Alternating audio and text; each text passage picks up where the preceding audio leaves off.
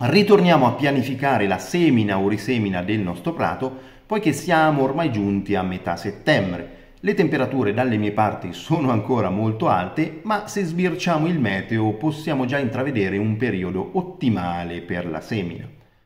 Abbiamo ancora qualche giorno di bel sole, quindi possiamo approfittare per tutte quelle operazioni preliminari che sicuramente ci faciliteranno il lavoro in futuro. Per prima cosa, se abbiamo un terreno argilloso e compatto, possiamo approfittare per cercare di migliorarlo con delle bucature e l'aggiunta di sabbia silicea.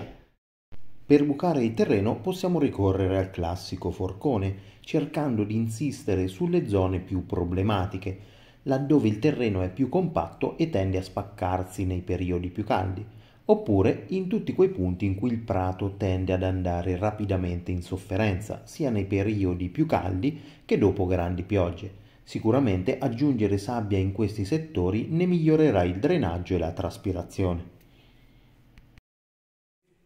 Indispensabile alla corretta germinazione sarà il perfetto funzionamento del vostro impianto di irrigazione. Non c'è cosa peggiore che accorgersi dopo aver seminato che l'impianto di irrigazione non funziona o funziona male.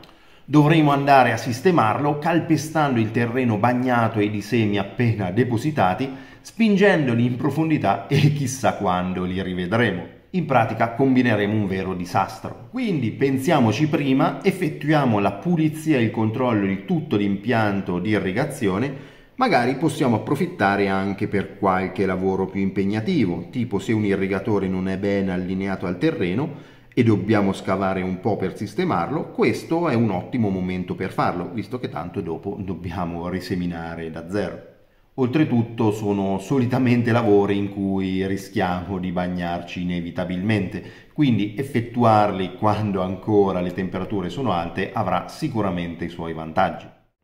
Capitolo Formiche. Sicuramente da piccoli avrete sentito la storia della cicala e la formica, quindi saprete che in questo preciso istante le formiche stanno facendo scorta per l'inverno, mentre le cicale se la cantano ancora in cima agli alberi e non aspettano altro che voi spargiate i semi da prato per farne razzia e conservarli in vista dei giorni più freddi. Quindi pensiamoci prima distribuendo un ottimo granulare antiformiche. Io solitamente utilizzo questo dei Lavebi, è abbastanza economico, costa 9-10 euro per il sacchetto da chilo e funziona benissimo anche se ha bisogno di un certo tempo per entrare in funzione, quindi va distribuito con largo anticipo. Se andiamo a distribuirlo contemporaneamente alla semina, sicuramente perderemo gran parte della sua efficacia. Il medesimo risultato può essere raggiunto anche con un prodotto naturale, ovvero la farina di mais ma in questa precisa circostanza ve la sconsiglio, poiché potrebbe avere un effetto collaterale molto dannoso. La farina di mais non cotta fermenterà durante la digestione e le formiche hanno un addome stretto e rigido, incapace di espandersi, quindi per loro risulterà fatale. Io l'ho provata e funziona veramente molto bene. Dopo alcuni giorni non c'era più traccia di formiche nemmeno del formicaio. Ma le formiche non sono le uniche ghiotte di farina di mais, ma piace molto anche agli uccellini, per i quali tra l'altro è innocua. Ma attirare dei volatili sul nostro prato prima di seminare non è una scelta propriamente saggia, poiché una volta individuato del cibo in un posto, quella per loro diventerà una zona di alimentazione e torneranno sicuramente a controllare anche dopo che avremo seminato magari con tutta la famiglia al seguito. Quindi teniamoli alla larga, almeno finché il nostro prato non è bello cresciuto. Ora non ci resta che attendere il momento propizio per seminare. Non abbiamo la sfera di cristallo, ma ci basterà una semplice applicazione meteo. Una volta che individuiamo una settimana in cui le temperature si abbassano e ritornano le precipitazioni, Beh, diciamo che per quella settimana dobbiamo già avere il seme in terra, poiché i primi 7-10 giorni sono determinanti per la germinazione e per la buona riuscita del nostro prato. La germinazione è un processo irreversibile che non può essere messo in pausa. Una volta attivato può concludersi solo in due modi, o con l'attecchimento e la germinazione, la nascita della piantina, oppure con la morte del germoglio. Non c'è una terza via.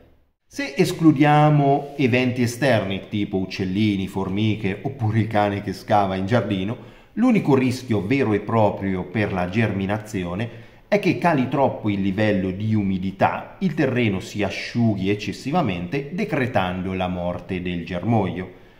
Quindi seminare a ridosso dell'arrivo di precipitazioni o comunque di un periodo di non pieno sole avrà sicuramente i suoi vantaggi e ci metterà al riparo da questa eventualità. Bene, per il momento non ho altro da aggiungere se non che iniziamo a dare un occhio a tenere sotto controllo le previsioni meteo a breve periodo, poiché sicuramente da qui in avanti si aprirà un bel momento per seminare. Cerchiamo di anticipare l'arrivo delle precipitazioni di qualche giorno, poiché per seminare abbiamo bisogno ovviamente di una bella giornata ma anche se per i primi giorni possiamo sopperire con l'impianto di irrigazione, avere già il seme a terra quando arrivano le precipitazioni aumenterà sicuramente di molto le nostre chance di successo. Per il momento mi fermo qui, come sempre vi invito a lasciare un like a questo video e ad iscrivervi al canale per altri contenuti interessanti sul mondo del giardino e del giardinaggio. Grazie ancora per aver guardato, al prossimo video.